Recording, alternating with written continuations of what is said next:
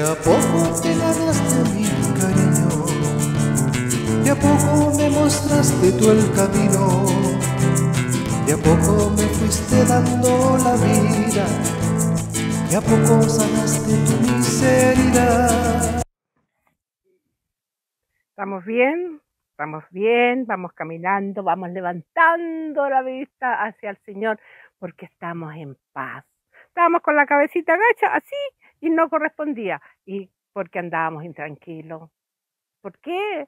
Porque le echamos la culpa a todo el mundo que, que me quitaba la paz. Y ahora pude descubrir que la paz no depende de los que me rodean, sino depende de mi paz que yo tengo con el Señor. Así que a recordar cuando yo le, no, que vino y me quitó la paz y que me dijo ese me quitó la paz. Y yo no, no, Señor, ¿qué pasa en mí? Que estoy intranquila, que no, no me quita la paz los demás. No debieran quitarme la paz porque mi paz no depende de ellos, depende de mí. ¿Y eso cómo nos va a ayudar? Con esta palabra que le decimos al Señor. Aquí estamos, aquí estamos todos los días con estas gotitas que me alimentan, con estas gotitas que me llevan al alma para acercarme más a ti. Aquí estoy con mi corazón abierto para escucharte. Y en el Salmo 77 nos dice lo siguiente. Te abriste un camino por el mar, un sendero por las aguas caudalosas, y nadie descubrió tus huellas. Guiabas a tu pueblo como un rebaño, Moisés y Aarón lo conducían. Palabra de Dios. Ahí, cuando Moisés y Aarón conducían al pueblo, tú guiabas a través de ellos, tú les dabas, les mostraste, les abriste el camino, separaste las aguas para sacarlos a la tierra prometida.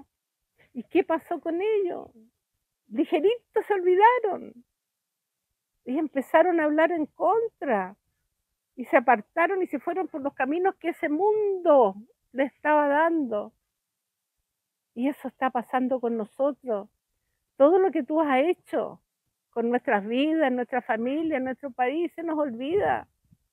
Y nos vamos viendo todo lo negativo, todo lo malo, que sí ha existido y ahí también en esta época se decía, pero primaba, primaba la vida, primaba el Señor, primaba la, la esperanza, el ser responsable, el ser agradecido del Señor. Tú y yo estamos aquí, tú me estás mirando, tú me estás escuchando. Yo estoy aquí. Gracias Señor. Que me gustaría estar en otra parte, que me gustaría estar haciendo otra cosa, pero estoy ahora. Gracias Señor, porque hay otra persona que no están. Gracias Señor. Y mira, de repente somos egoístas y pensamos solamente en nuestra felicidad, solamente. Nos miramos así como decimos vulgarmente el ombligo. No, tenemos que ver en los demás y ver cómo poder llevarnos bien con todo, respetarnos, respetarnos, que hoy día no lo hacemos.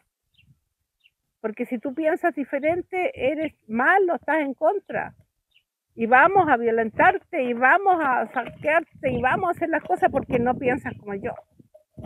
No, tú no piensas como yo, perfecto. Yo te respeto, pero tú también respeta lo mío. Porque si yo quiero que me respeten a mí, lógicamente que yo tengo que respetar al otro. Mira, aquí hay 12 formas para llevarnos bien con todo. Vamos a ir viendo si podemos hacerlo. La primera que eso ya lo hemos visto, que es el triple filtro, ¿no es cierto? Antes de decirle algo a alguien, pregúntate a ti mismo tres cosas. Y cuando te lo vengan a decir, también haz la misma pregunta. Y si no las cumple, mejor no hables. ¿Y cuáles son? ¿Es verdad lo que voy a decir? ¿Es verdad lo que me estás diciendo?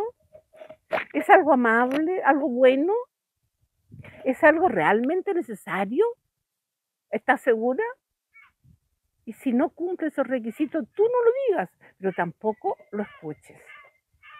Nunca pierdas la oportunidad de felicitar a alguien. Nunca pierdas la posibilidad de felicitar a alguien.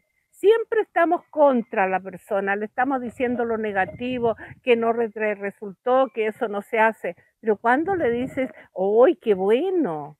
Mira, qué lindo. ¿ah? Niégate a hablar negativamente de los demás. No digas chismes o escuches chismes. Esto es fundamental, hermano, hermano querido. Niégate a hablar negativamente mal de los demás. Piensa, piensa y no digas ni chisme ni escuches chisme. Ahí tenemos, digámosle, Señor, ayúdanos a estar atentos realmente a que yo pueda actuar en bien de los demás, uniendo y no destruyendo.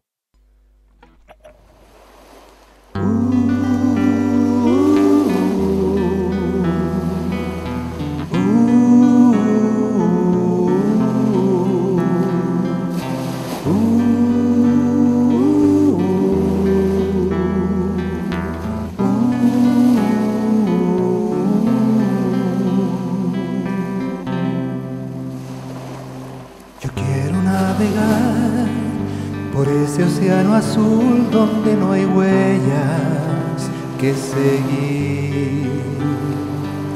Me quiero adentrar en ese ancho mar donde hay almas que pescar. No temeré la tormenta ni el viento, pues sé que tú vas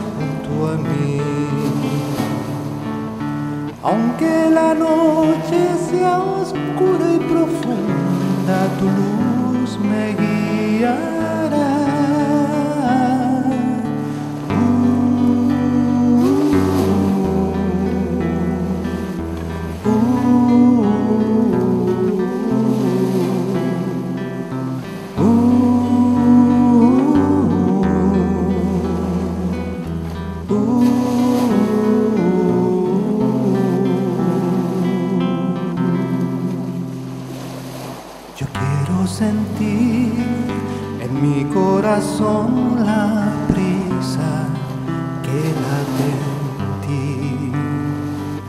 Al nacer el sol, sin tiempo que perder mis redes, lanzaré.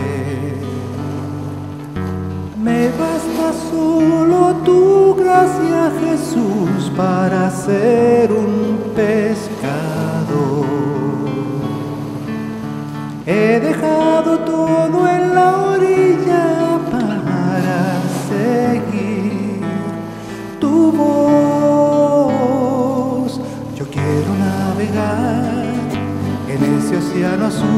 Donde no hay huellas que seguir. Me quiero adentrar en ese ancho mar donde hay almas que pescar. temeré la tormenta ni el viento, pues sé que tú vas junto a mí. Aunque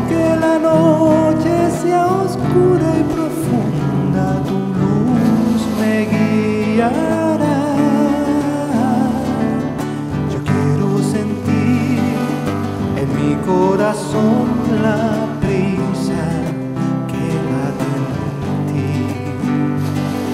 Al nacer el sol, sin tiempo que perder mis redes, lanzaré. Me basta solo tu gracia, Jesús, para ser.